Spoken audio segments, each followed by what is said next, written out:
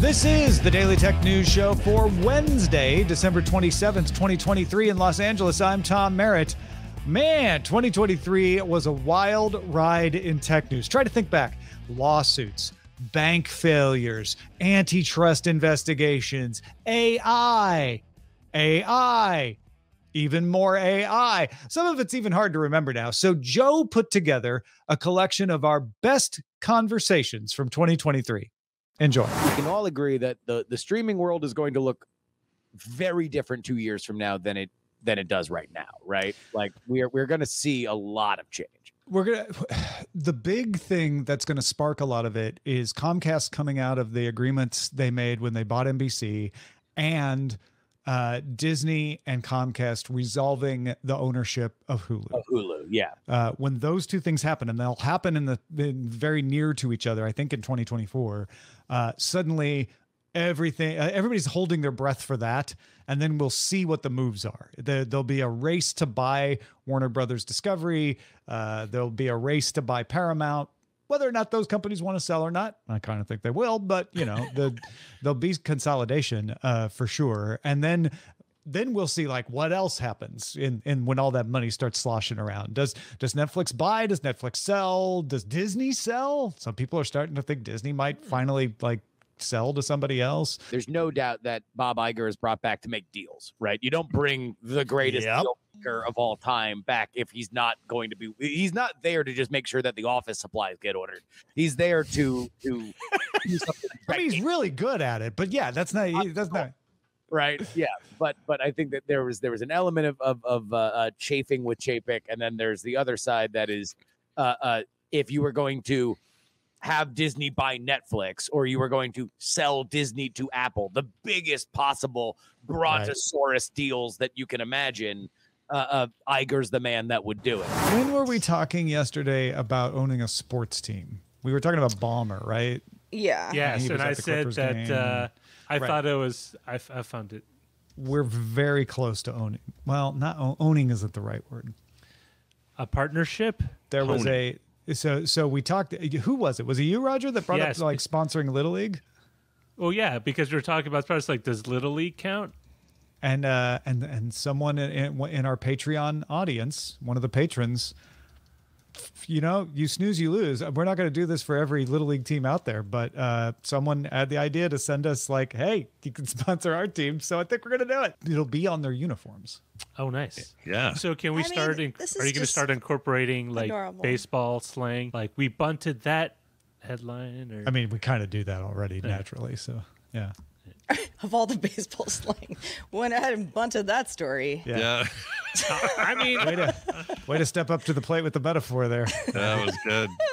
well, Tom Red knocked it out of the park with that. there you go How's it? there you yeah, go you're getting there. That's it. Yeah, now you're throwing strikes. What do you think of this BuzzFeed thing? Because I, I feel like people have been overreacting to CNET. Not that there there isn't some criticism there, but but CNET, you know, used a bot to do basically what the AP and Bloomberg have been doing. They just didn't do it ni- as as well.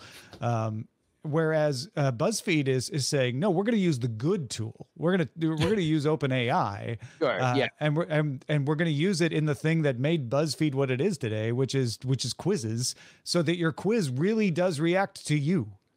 Yeah, look, whenever I have the opportunity to speak to young journalists, the one thing that I tell them that I know they are not going to hear from other people is get understand wherever you go, be it an internship or or a job, find out how they make money and then use your skills to be as close to that engine as you can.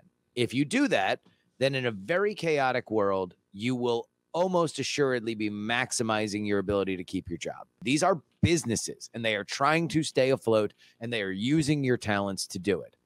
So when we look at AI, you have to understand what the low hanging fruit is. And trust me, this is going to take out elements of the journalism world for which can be replicated easy enough by AI. If you are worried about Chat GPT, then trust me, you're going to be really, really worried about what comes down the pike in the next two years. So as far as BuzzFeed goes, I think it makes sense for them to do it. The CNET example, and especially the fact that some of their AI generated articles were sloppy, is another old lesson in journalism.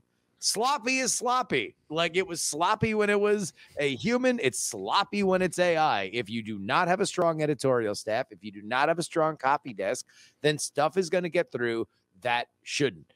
AI is not magical, it is a tool. And uh, the fact that it is being used at these outlets is not surprising. And anybody who wants to work at outlets, I believe, should, especially if you're young, understand that this is just as important of a tool as LexisNexis was for research. Yeah, as yeah. Processors are for for creating your copy, as CMS uh, programs are for t- distributing it around your organization. Learn to write prompts. Well, you may be tired of hearing about Chat GPT. Sorry in advance. So, CNBC says that Google is testing a Chat GPT like tool called Apprentice Bard. Microsoft is working to incorporate GPT-4 into Bing search. Chat GPT is also now available in Microsoft Word thanks to a third party add on from Creative Data Studios called Ghostwriter. Microsoft launched the Teams Premium that uses GPT-3 for intelligent recap, which automatically generates notes, tasks, highlights of meetings. Chat GPT Plus is now available for $20 per month. Reuters reported Wednesday that ChatGPT reached an estimated 100 million active users last month. I get these questions all the time. When's the next big tech innovation going to hit? When are we going to get that next iPhone moment? Why haven't we had anything new in technology in so long? You might have your answer here. There's no doubt that based on how people have understood ChatGPT, and if you even look at the conversations that are happening now with ChatGPT, the price of the product, whether or not it's biased in how you train the model, these are secondary conversations that you can only really have once you've found utility in this technology. People saying, I don't understand what you'd use this for, that doesn't mean anything to me. People saying, uh, I think it's overhyped. Sure, it's flashy, but uh, what you know, it, people won't stick around and keep using it. That doesn't mean much to me. What means something to me is are there a lot of different uses and what kinds of fears has it evoked? Uh, because if it evokes fears, that usually means it's really good at something to get that kind of fear evoked. I think this has all the hallmarks of something that is used in a multiple variety of ways and it's misunderstood. Uh, USC Pro- Associate Professor of Computer Science Jonathan May wrote on the conversation ChatGPT doesn't try to write sentences that are true, it tries to write sentences that are plausible. And I think wrapping your head around that gives you an advantage in understanding ChatGPT. Its danger isn't that it's going to replace book reports that stop people from thinking, because it's not good at that. At least not yet. Maybe a future version will be, and then we'll deal with that. What it's good at is constructing sentences, at giving you first drafts, at doing things that we haven't even figured out how to do with it yet. When Google panics about ChatGPT, and I thought it was, it was, it, it, it has been below them, in my opinion, to uh, poo-poo OpenAI as this small startup, and we we actually care about truth. The last time that they had an existential threat, they called it the big blue wave, was Facebook. We are not back in in in, in the 2010s. You know, we are we are in a different world when it comes to these uh, uh, this this ad market. If Chat GPT materially reduces our reliance on the way that we think about search and or Bing becomes a more a primed competitor. I find that the first one is more likely than the second one, but a combination of the two would do the same thing. Then Google is in trouble. I don't think it's going out of anything catastrophic, but can Google get Yahooed? Maybe. Maybe that's why I could ask ChatGPT. Make a generic list of Dr. Pepper alternative names because those are always my favorite. store brand cherry cola, store brand vanilla soda, store brand caffeine free cherry. Store brand. It's taking our jobs, Tom. Can I drink instead of Dr. Pepper, but that will taste like Dr. Pepper? If you're looking for a drink that tastes similar to Dr. Pepper, but without the caffeine or high sugar content, you could try some of these alternatives Dr. Pepper flavored seltzer water, Dr. Pepper flavored sparkling water, Dr. Pepper flavored unsweetened iced tea, Dr. Pepper flavored syrup mixed with sparkling water. Did, did you get ChatGPT like 1.2, Tom? Are you on a Maybe. deprecated model?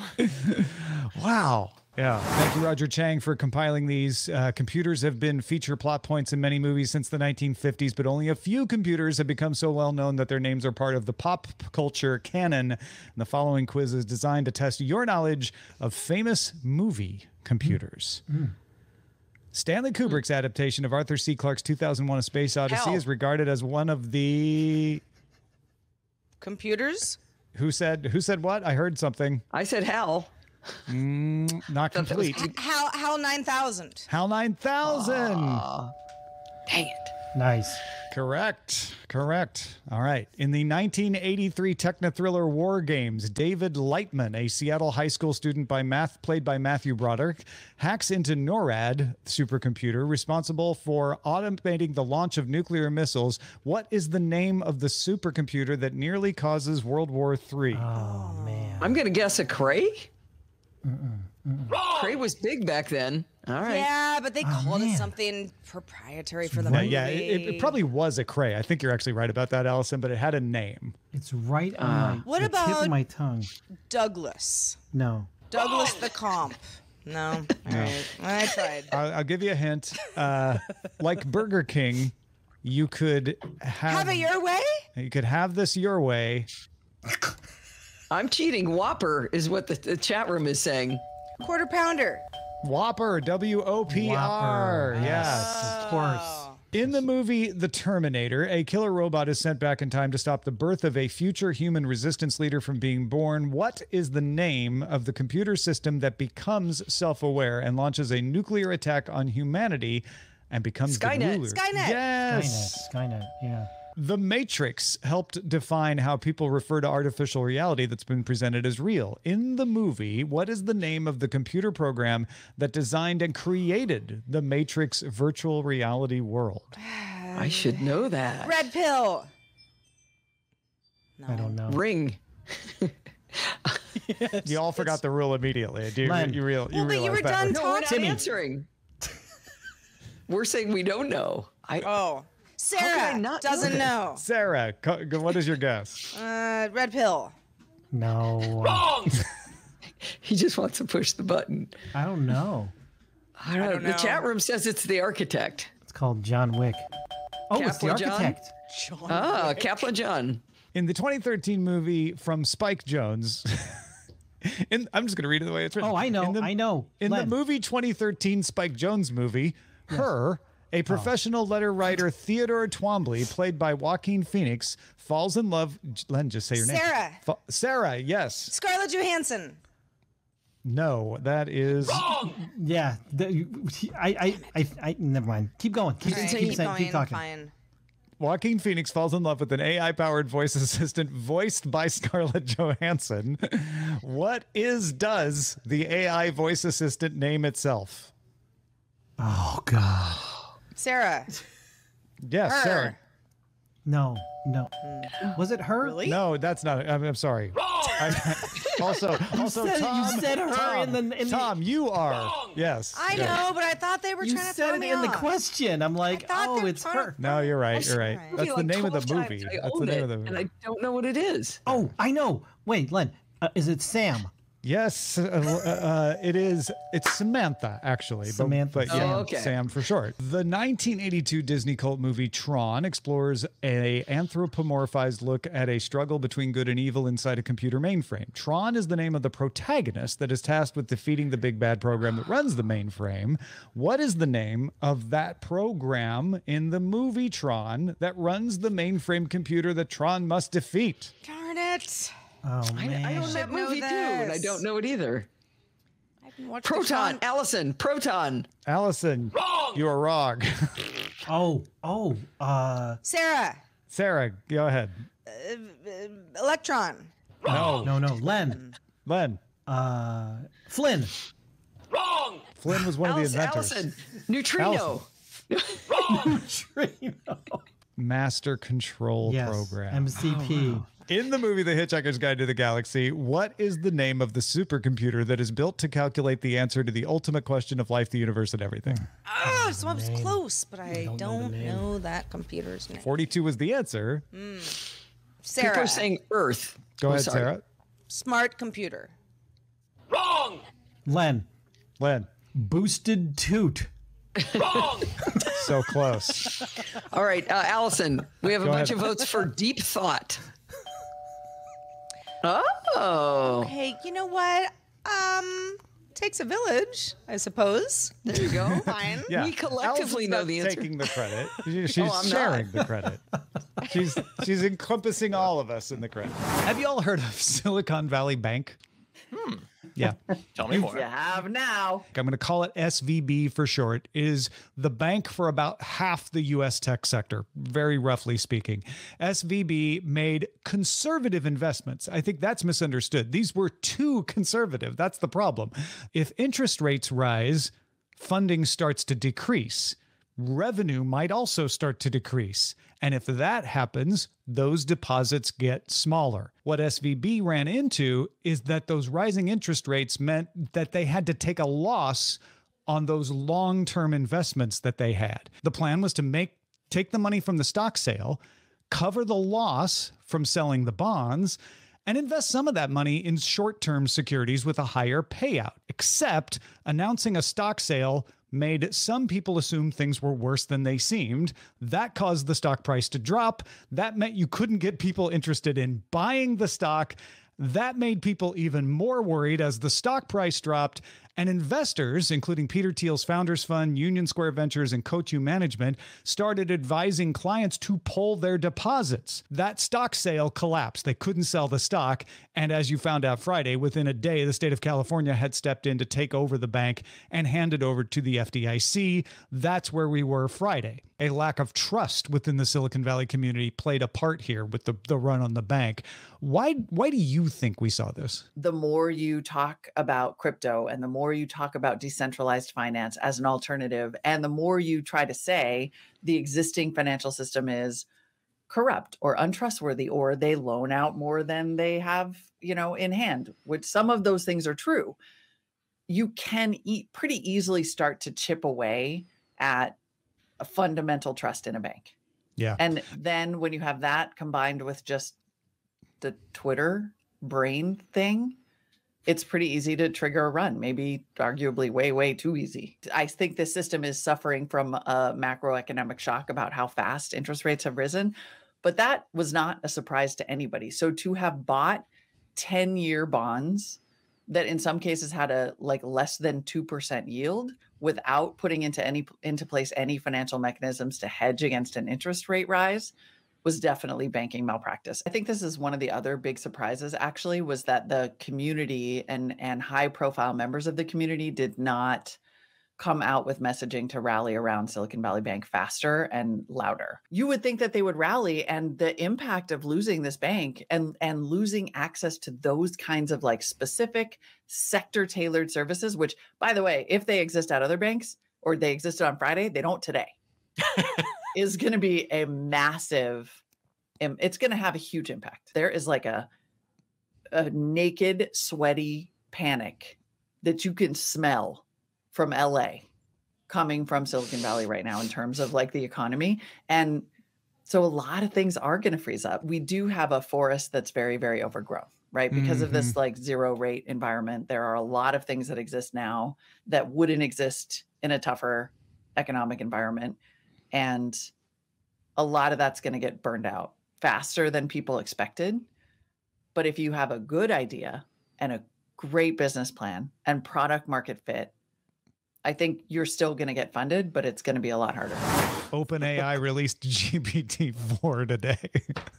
But Google can't catch a break. Uh, they, they had the whole thing with Bing and AI last month. Uh, today, they're like, this time we've got it. Microsoft's things later this week. We're going to put out all our AI news, and OpenAI is like, hey, we've got the next model of GPT, GPT-4. If you're like, okay, w- GPT-4, it's one better. What's better about it? It can accept text and images as inputs.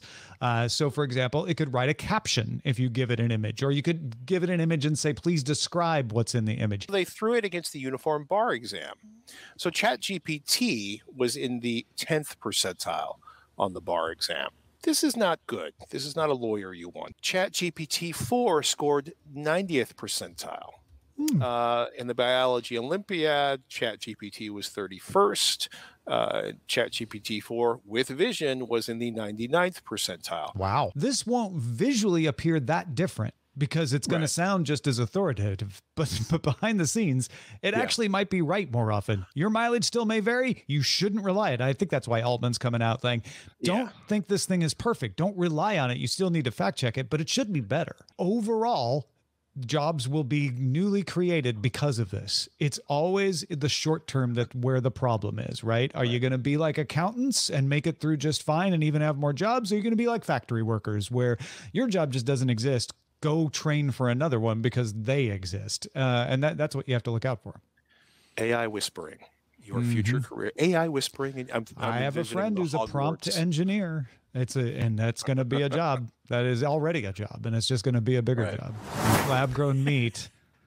If okay, no humans are being harmed, right? You're just culturing out of cells. You could you could you could donate your own cell. Would you eat yourself, Tom? Is that what you're asking? Yeah. Would You look delicious. Would, would you eat it? I would. Mm. You Yeah, I would. You like I no think I just hesitation. I don't feel like yeah, like if people aren't harmed, if No it one's harmed, tastes, right? If it the taste is Let's really assume it's all the issue. consensual. Like It's the, like, I don't really like lamb because you know in the venison category it's a little too gamey for me. Do I like human? Don't know. Never tried. Oh, yeah. But what, what if it is tasty and no one dies? You've never cooked a little bit of yourself, I suppose. No, I have not. Haven't done that. I would need to. There's so much about it that just goes against our basic humanity because we're just, you know, we, we don't approve of this and we never have. And there's Yeah. also disease reasons and all this other stuff. So There's a there's a deep instinctual resistance to it. yeah, yeah, Yeah. and I feel that, but at the same time, I feel like I wouldn't sit down and go, "All right, let's dig in." But I do think I would say, "Well, let me taste it." This is Yeah. hundred percent a no for me, guys. I don't know what the hell you're Really, you're like yeah, you're you're the opposite of Sarah. absolutely You're no on the far no extreme. But like, but but because like because it gives you the willies, or because there's some sort of No. deeper, It's- like it's what? the- like, but it's not. You don't hurt anybody. It's So- the elephant answer. We develop a taste for lab grown human. Suddenly people are going to want free range human. And that's a dark path we're walking down. Oh, that But is not, dark no, not necessarily because we've only had lab grown human. Like I don't want humans on the range. You say that No. now, but I want that you- lab human. What if you really, really like it? What if you're like, oh man, I'm going to go But out. like, but if I, really like it, then like a I don't gateway? need to like Yeah. go back to the old way of doing Look how tender Listen. Scott looks. You go out there, you tell you, hey Scott, let's go camping, and the next thing you know, you're hunting Scott for sport, and and then Listen, it's you the know, Scott BQ. I know you've had lab, lab grown, but have you ever had free range? Like you, it's a it's amazing. Yeah. Oh man, Who's gonna say? Have you ever had free range? Like, no, that's not what we do. Someone's gonna Say, say, that, but Yeah. it's only a matter of time. You're not thinking like a billionaire, Sarah. That's the thing to remember. yeah, you got to think like a Oh. billionaire. What if it was like a home kit? Mm. So, so like, the get a little technology jar. gets good enough, You you order a kit and it just says like, yeah, just you, you scrape off some skin cells. It's not even gonna hurt. And then you know, in in a week, uh, you've got a lovely bur- burger patty. But if someone goes like human, I I might yeah, say a nice well, a nice tell me more cut, like a nice steak cut. I think you of want lab grown. Like a Yeah. with the sauce, like barbecue sauce, pulled, pulled, pulled human. Oh, we really need Chris Ashley and Rod Simmons on this. Yeah, just just Barbecue, the barbecue and, and tech human boys. tech. Yeah, yeah, yeah. maybe a little maybe a little coleslaw in there. I don't know. Oh. That's always the the conversation too. Is forget whether it's human. Let's assume it's not. Uh, vegetarians, vegans, okay to eat lab grown. daughter's- Vegetarians, I, f- I feel like vegans have a case to be like, no, you're still exploiting the animal to get the cells in the first place. You know, drawing Yeah, the line. just- yeah, vegetarians, vegetarians, if they're doing it for health, might still not want to eat it because it's got cholesterol or whatever. Um, Mm-hmm. But if vegetarians doing it for anti-animal cruelty might be like, well, it's not cruel to the animal, right? They barely Yeah, know. but if but in the case of human meat, you let's say we're eating tom meat, uh, big big big steak, tom steaks. Okay, you uh, you did consent to that though. Your genetic material was taken from you, but with your Correct. consent. And let's say that, that So was, Or, or vegans can eat human meat? Yeah, vegans can eat human. I think- I think Scott's right. Vegans can Yeah. only eat human meat if Yeah. it if it is is consensual. 'cause you Or if- consent. Or if we elevate the intelligence of the cows with ChatGPT so that they can then consent, then that's vegan friendly Oh. too, There, right? there was. Uh, hadn't thought of it that way. That's how we should do it. Make the cow smarter. This is it. Yeah. It's- it's- Douglas Adams Yeah. did this 40 years ago. Yeah, Yeah, yeah, the yeah. same show. Need It's the restaurant at the end of the universe. Yeah. A study estimated that 45% of people in the US older than 50 play video games at least once a month. That's 52.4 million people, which is, I think, a lot. I think this sort of stuff is going to run out of runway pretty quick. And the reason I say that is when you say 50 and older, you're often talking about 80s and 90s kids mm. who were the first big generations to have this cultural phenomenon in their lives in such a major way. We were the ones going to software, et cetera, and waiting for the launch of the PlayStation Yeah, yeah. 1. And we were the mm-hmm. ones waiting for all of that. And we're the ones that are really into ecosystems like Steam and Xbox and PlayStation and everything else. I feel like I feel like that that this this kind of questioning 10 years from now is going to be pointless because the 40 year olds are playing even more than we did. Well, yeah, it's going to be about uh, who's playing the brain implant game. Yeah, right, right. 50. Right. We are less than a year or two away from giving AI a film script and then watching that film the same day. Production costs are going to go to zero. Within five years, great looking films will be made this way. Within 20 years, almost all films will be made this way. Maybe I'm having some of the early heartache. I don't want to I don't want to see these weird things yet. I want I want I want people to be the craft and I'm a little nervous about this this kind of prediction, but he may not be wrong. And it hurts him as bad as it would hurt anybody, right? He's a Well, no, a he, he and- conveniently let the writers still be there. You just yeah, that's right. But I, I, you know what? I guess you could argue like, oh, uh, you won't give the AI a film script. You'll do a prompt to get the AI to write the film script because we're close to that already. Right. So you Yeah. won't even need to give it a script. I wonder if non-AI movies become a genre. Oh, that's interesting. That interesting. seems Ooh. that seems likely. Ooh, yeah. Maybe that's what it does. You you buy AI templates for the types of movies you want. I want a World War II movie, and so it will pull all the assets and and all, all the data it would need, Oh and yeah, then you plot feed on it. demand. That reminds me of the worry that digital tools were going to get rid of big studio label music. They didn't. We we now have a much broader, wider base of music available because more people can easily make it. But you still have Taylor Swift. You still have BTS. You still have Morgan Wallen uh, because you need the labels. Because most people don't want to sort through everything else. They want someone to curate it and be like, oh, yeah, this is the label says this is good. Great. I'm going to listen to that. if I don't feel like there's enough Mad Max Fury Road follow up, and I do feel that way, um, I would love it if I could accurately depict the kinds of movies that George Miller would make in the wake of the success of Fury Road, and just do sequel after sequel after sequel, and I and and do it in a way that's 100% what I want. That feels so far away to me, but maybe he was 100% right, and it's closer than I think, and and I can have that experience then, but you know, we're still trying to make fingers look right. So I don't know. I don't know. Verge uh, posted an article uh, just a few minutes ago that many of the Reddit communities that did go dark um, in solidarity um, say they will be going dark indefinitely. There's a lot of power in the mods on That's Reddit. right.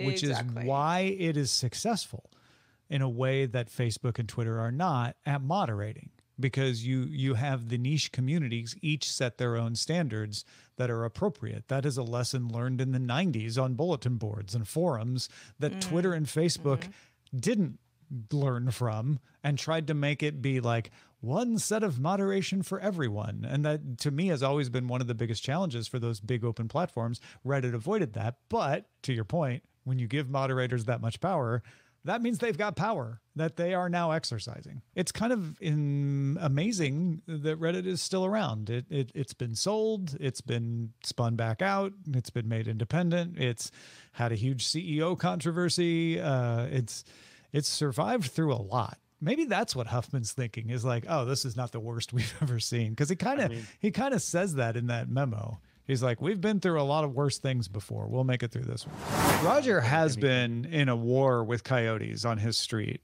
Oh no! You've been talking about this a lot because they're they come and so party on his lawn at night and wake him up and Oh, eat all of his like Well, they- lawn they stuff. They howl eat your garbage and stuff, or No, what? no, they don't eat the garbage. So it turns out they have a den like a block over, according to one of the neighbors. They're not paying Um, rent and for it though. If this pedestrian that I talked to the other night, uh, when I was chasing a couple of coyotes away from his path, um, because this night was trying to walk home, uh, he said, "Yeah, I saw one of the ladies in that house over there, like an old lady, like throwing them food, like chicken bones." It's tempting to feed them too, because yeah, they seem cute and stuff, and then it's like, but no. And they're very often skinny, so they look hung like you know they're hungry. Not one of They look not- like One of dogs, them isn't so- skinny anymore. We would sometimes see them, depending on where we were.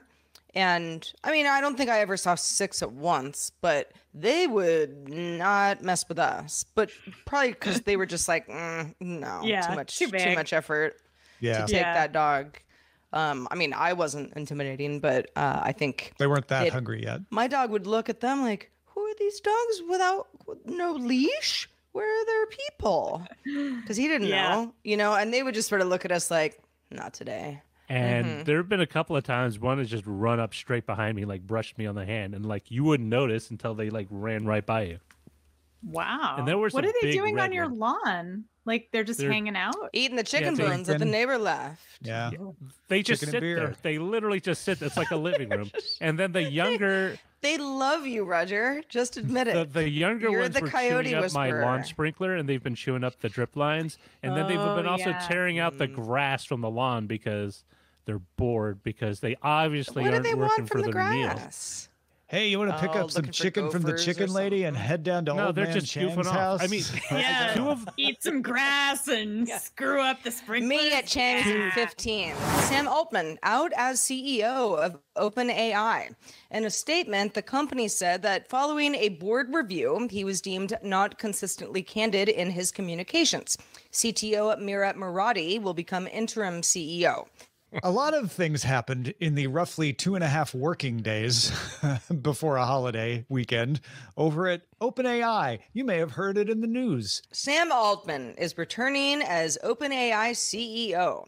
He will not take a position at Microsoft, which was announced on Sunday, after all. And Microsoft CEO Satya Nadella says Microsoft supports Altman's return to OpenAI. But Altman does not retain his previous board seat. The Beatles have done final songs quite a bit in their career, but this one might be the one. Let's enter Peter Jackson.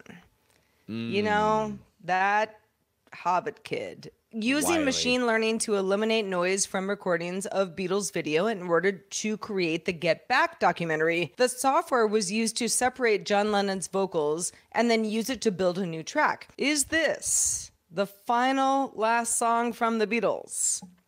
I think with AI, it could be maybe the first of many, to be honest. Yeah. Is it Well, the last of the Beatles or the last of the human Beatles? I would very much recommend 12 minute mini documentary about putting this together. Really, really well done. The documentary takes a lot of pains to make it clear that everybody's happy about this. Everybody would have loved it. John would have loved it. The Beatles were a very technologically forward band Which is true. when they were operating, which is all true. Uh, so they, they want Sure. people to not I be mean- mad that there's a new Beatles song. But I think it's great. I think it rules. Let's also point out the AI part of this was not creating any voices. The machine learning part was to separate out John Lennon playing the uh, piano in his New York apartment and him singing. Yeah, it's a good example of how to use these kinds of tools. So you could argue, if you want to be real pedantic, that yes, parts of John Lennon's vocals had to have been created because when you separate it out from the piano and the line noise and Yeah. the room echo, uh, it wouldn't have all of John's. And and yes, the algorithm does fill in the gaps and make it sound normal, but that's all it's doing. Uh, it's no Yes. different than when you uh, delete uh, that you know half naked person in the back of your beach photo and it just fills it in with sand and blue. It's just really good at it. It's able to do it in a way that you don't notice. So it's the perfect way that machine learning does add things, but only adds things you want. Not synthesizes it. They didn't say, "Hey, pretend you're John. Imagine you're John Lennon sitting in a studio and then created from whole cloth." They said, "Take what's here, pull it out, fill in whatever's missing so that it sounds good, and it works." Yeah, what what I just don't want people to take away from this is the idea that they trained a model Yeah, on there's no John simulated Lennon's voice, John out and there, then and like- then uh, by the at the at the very end of the song he says. And Walmart Black Friday deals begin on Wednesday. Like, like there's not uh, uh, anything created. I'm a like fan that. of the Utah Jazz. I wonder if this is a great example of the the line. Now, I'm not saying we'll never cross, but we're not going to cross for a lot longer than people think between machine generated content and human content. What made the Beatles special was that collaboration between Yeah. John and George and Paul and Ringo in the room where they would bounce ideas off each other. That is not something that just I've trained it on all the Beatles music. Now simulate some Beatles music. It'll give you Beatles sounding music. Yeah. But it won't have that. It won't have the new thing that happened because they were collaborating off it. Something that, yeah, they didn't really have this time because George and John aren't with us anymore, but Paul knew what that was. And there was some in the history from 95 and even before that Paul could simulate in a way that a, a algorithm couldn't. Oh my God, that was a fun ride back through the year. Uh, but that's it for this episode. Thanks to everyone who supported us throughout 2023 at patreon.com slash DTNS. Now, don't forget, there's no live shows this week, but we will be back to live shows on our 10th anniversary, January 2nd, and back to our normal schedule Monday through Friday, 4:30 p.m. Eastern, 2100 UTC at dailytechnewsshow.com slash live. However, this week, our holiday programming continues with our 2023 Tech Predictions Results Show tomorrow. See how we did. Talk to you then.